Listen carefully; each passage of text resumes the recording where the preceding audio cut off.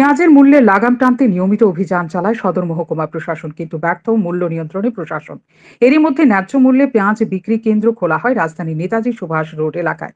আগরতলা আলু, পেঁয়াজ, রসুন, পাইকারি ব্যবসায়ী সমিতির উদ্যোগে এবং খাদ্য দপ্তরের তত্ত্বাবধানে ন্যায্য মূল্যের পেঁয়াজের বিক্রয় কেন্দ্র খোলা হয় শনিবার।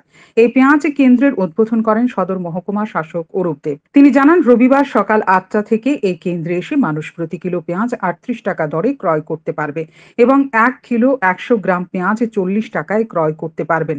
সদর মহকুমা প্রশাসনের উদ্যোগে বটতলা বাজার, লেক চৌমৌনি বাজার সহ সমস্ত প্রধান বাজার একটা করে পেঁয়াজ বিক্রয় কেন্দ্র খোলার পরিকল্পনা রয়েছে। যাতে মানুষ বাজারে গিয়ে স্বাভাবিক মূল্যে পেঁয়াজ ক্রয় করতে পারে। আমাদের সামনের দিনে আমাদের এরকম পরিকল্পনা রয়েছে। আজকে মহারাজগঞ্জ বাজারে আমরা এটা উদ্বোধন করেছি। আগামী দিনে আমরা বটতলা লেকচুমনি এবং দুর্গাচুমনি বাজার সব জায়গাতে আমরা এরকম একটা কাউন্টার আমরা খুলতে চাই। আপনারা জানেন অলরেডি যে ইদানিংকালে আমাদের বাজারে যে ঊর্ধ্বমুখী পেঁয়াজের দাম, তার জন্যই আমাদের রাজ্য সরকার, আমাদের খাদ্য দপ্তর ডিসিশন নিয়েছেন যে প্রত্যেক বাজারে আমাদের সদর মহকুমা প্রশাসনের অন্তর্গত একটা করে কাউন্টার যেখানে খোলা হবে এবং ক্রেতাদের স্বার্থে কম এবং সঠিক দামে এটা যেন ক্রেতাদেরকে, সাধারণ ক্রেতাদেরকে যেন সরবরাহ করা হয়।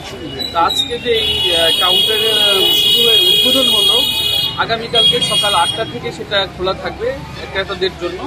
কিন্তু এদিন পেঁয়াজের নমুনা দেখে বহু ক্রেতা অসন্তুষ্ট। কারণ প্রশাসনের সহযোগিতায় জাগ জমকভাবে উদ্বোধন হওয়া পেঁয়াজ কেন্দ্রের মধ্যে যেসব পেঁয়াজ বিক্রির জন্য রাখা হয়েছে, সেগুলি নাসিকের লাল পেঁয়াজ নয়। নাসিকের পেঁয়াজের মূল্য স্বাভাবিকের থেকে কিছুটা বেড়েছে। তাই গত কুড়ি পঁচিশ দিন ধরে রাজ্যের অসাধু ব্যবসায়ীরাও পেঁয়াজের মূল্য এক লাফে পঞ্চাশ টাকা নিয়ে গেছে।